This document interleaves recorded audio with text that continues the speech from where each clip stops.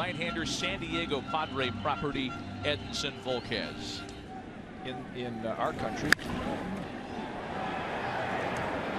Popped in the infield. Miguel Tejada's under it. One two pitches swung on and missed by Ricardo one away in relatively short order in Arlington.